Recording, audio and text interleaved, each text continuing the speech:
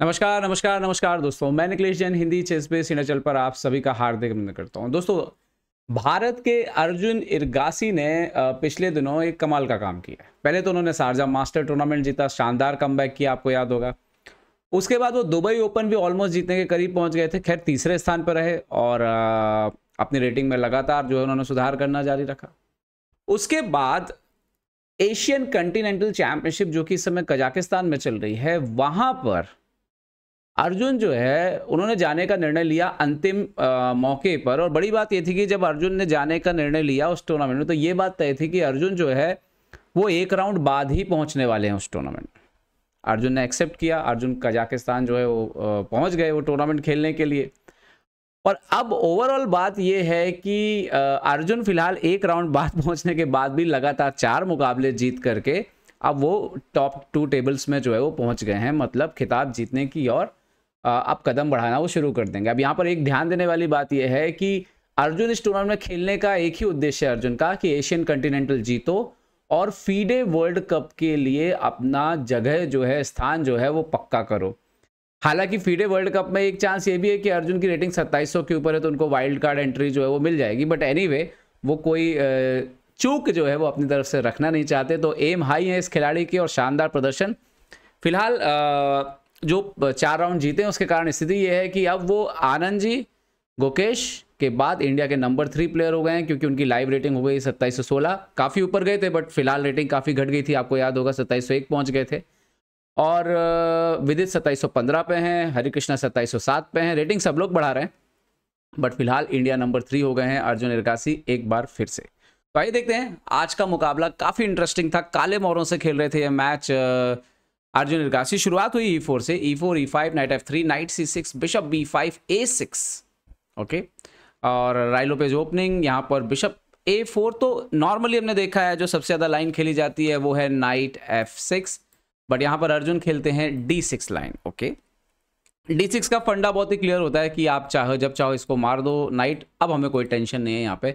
ई e five के pawn का okay castle किया यहाँ पे व्हाइट ने आदित्य सामंत ने। आदित्य सामंत भारत के बहुत ही टैलेंटेड प्लेयर हैं लाइव रेटिंग पच्चीस है।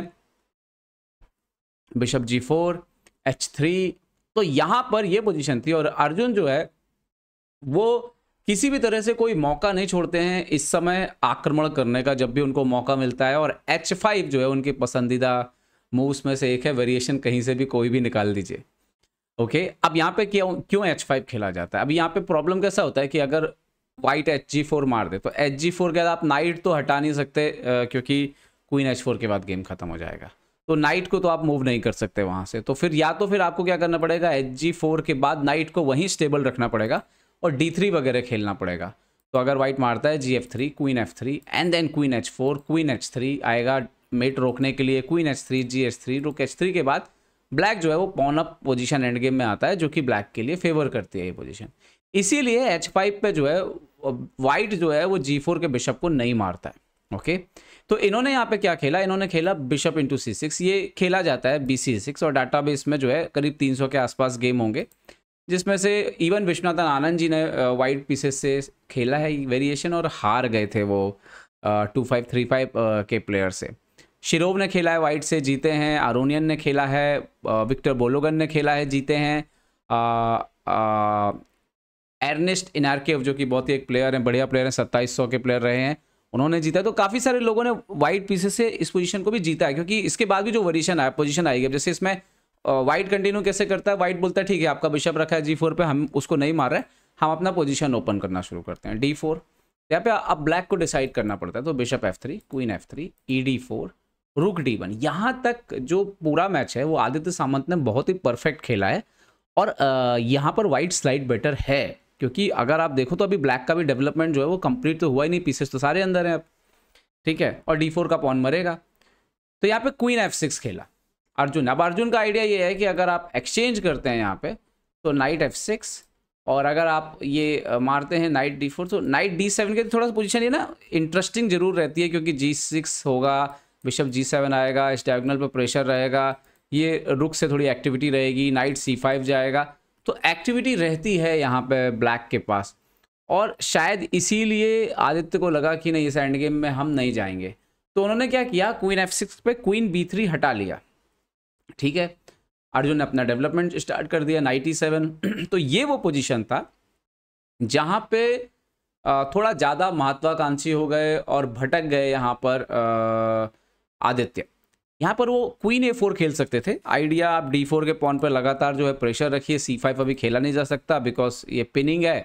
तो तो ब्लैक को अब ये बिशप तो निकालना ही है। तो ब्लैक का वैसे भी आइडिया जी फाइव करके कुछ अटैक करना था। G five rook D four bishop G seven rook D three third rank defend करते हुए।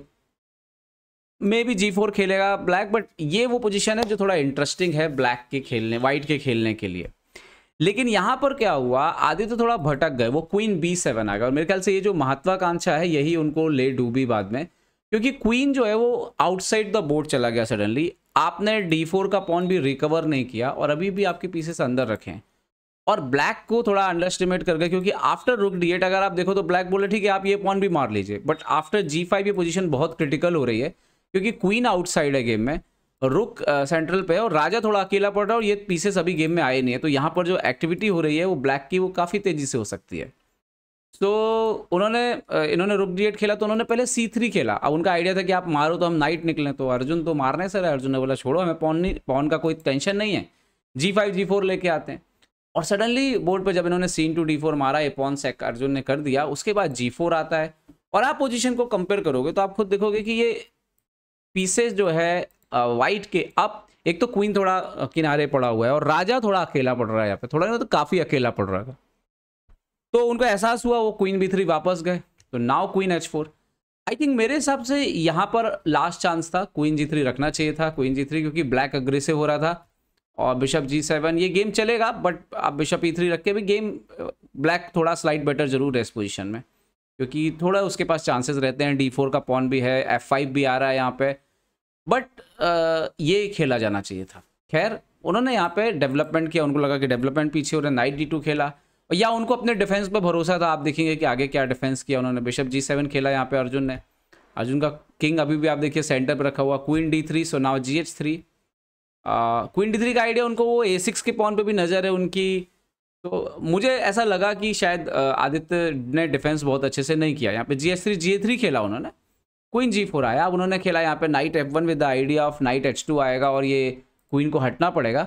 बट द पॉइंट यहाँ पर ये था कि इसका कितना फ़ायदा हुआ। यहाँ पर अर्जुन ने जब एफ़ फाइव खेला तो वाकई वो बहुत ही अमेजिंग पोजीशन थी कि राजा सेंटर पर रखा हुआ है और वो एफ़ फाइव खेल रहे थे। यहाँ पे रुक ईवन खेला उन्होंने ई e फोर को कवर करते हुए तो कैसल कर लिया अर्जुन ने। फाइनली लास्ट मोमेंट पर नाइट एच टू पर क्वीन जी सिक्स आए। यहाँ पर बिशप एफ़ फोर वो ऐसा लगा कि आदित्य को लगा कि भाई अब सबसे पहले तो पहले पीस निकाल लो। और उन्होंने वही किया। But F E four queen E four queen E four rook E four ये जो एंड गेम आया, इस पर आफ्टर नाइट डी फाइव जो ब्लैक के पास एक्टिविटी थी, वो बहुत ज़्यादा थी। तो इन्होंने अब देखिए बिशप मर रहा तो पहले बिशप पॉन भी जा सकता था। तो बिशप डी टू पीछे खींचा ना रुक बी एट अब अटैक किया वहाँ पर बी थ्री के पॉन पर प्रॉब्लम ये है कि आप बिशप सी थ्री वगैरह अगर रखने जाते हैं तो नाइट सी थ्री और रुक बी टू के बाद ये स्ट्रक्चर बहुत प्रॉब्लम देगा, दोनों रुक यहाँ पर अटैक कर रहे हैं तो उन्होंने रुक बी वन खेला। तो ना रुक एफ़ ई एट और उन्होंने ये रुक एक्सचेंज किया। ये मुझे भी काफ़ी अच्छी चाल लगी, क्योंकि ये एक एक्टिव रुक था वाइट का तो कहते हैं कि एक्टिव पीस जो भी जैसे कम एक्टिव पीस हो तो जो सबसे एक्टिव हो, उसको एक्सचेंज कर दो। और rook E eight rook E eight and then उन्होंने नाइट एफ़ थ्री खेला। बट इसके बाद वो यहाँ पर चूक गए, समझने में कि कितना तेज़ है आक्रमण यहाँ पर। अर्जुन का, अर्जुन ने खेला रुक एफ़ एट अभी आप देखिए कि नाइट पर प्रॉब्लम है और ये पॉन मर रहा है। नाइट जी फाइव खेला कि उनको एच टू एच थ्री का पॉइंट रिकवर कर लेते हैं, लेकिन अर्जुन तो अर्जुन, उन्होंने बोला एच टू चलते हैं। अब आप मार नहीं सकते because of rook F two तो उन्होंने इनडायरेक्टली वो पॉइंट डिफेंड किया, उन्होंने खेला किंग जी टू तो now bishop D four point मार लिया, अभी एफ़ टू मर रहा है तो नाइट एफ़ थ्री वापस गए। एंड हेयर अर्जुन ने फिनिश बड़ा ही शानदार किया, उन्होंने मारा बिशप बी टू अभी प्रॉब्लम यह है कि रुक बी टू मारने जाएँगे। तो एच वन क्वीन किंग पीछे और रुक इन टू एफ़ थ्री के बाद ही पोजिशन विनिंग है, बहुत सारे पॉन है। सो बिशप बी टू उन्होंने खेला यहाँ पे बिशप एच सिक्स लेकर के अटैक किया। अर्जुन ने बिशप जी सेवन से एक्सचेंज कर दिया और ये जो नाइट रुक एंड गेम है, इतने ज़्यादा पॉन ब्लैक के पास है कि पोजीशन में कहीं से कभी कोई शक था नहीं कि अर्जुन को कोई प्रॉब्लम होगी। और एंड गेम धीरे धीरे चला ब्लैक वाइट ने थोड़ा प्रेशर किया बट अर्जुन के पॉन्स जो पास्ट पॉन थे, वो इतना तेज़ी से आगे निकल रहे थे और कि कहीं से कोई गुंजाइश नहीं थी। इवन लास्ट में जो रुक एफ़ टू आया अभी आप वो दोनों पीस देने तैयार हैं कि भाई आप मार लीजिए, क्योंकि प्रॉब्लम यह है कि अगर आपने एक्सेप्ट किया तो उसके बाद ये पॉन रुकना नहीं है। तो तो रुक कैसे उन्होंने थोड़ा सा कुछ काउंटर प्ले लेने की कोशिश कर रहे थे आदित्य सामंत बट अर्जुन चुपचाप जो है अपना पीस निकाल के ले गए। यहाँ पे ए टू के बाद यहाँ पे रखा और रुक बी टू के बाद रिज़ाइन कर दिया यहाँ पर आदित्य सामंत ने। तो अर्जुन का कमाल का गेम था। पूरा गेम देखिए तो काफ़ी अग्रेसिव ज़रूर इसमें आदित्य का भी योगदान था कि वो थोड़ा क्वीन बी सेवन को लेकर थोड़ा भटक गए थे।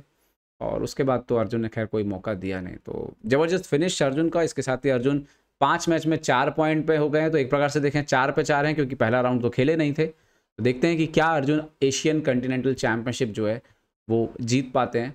और इस टूर्नामेंट पे अर्जुन के प्रदर्शन पर हमारी निगाहें जो है, वो बनी रहेंगी। तो अपना ध्यान रखिए दोस्तों, सुरक्षित रहिए। उम्मीद करते हैं वीडियो आपको पसंद आएगा लाइक शेयर सब्सक्राइब करना ना भूलें। धन्यवाद दोस्तों।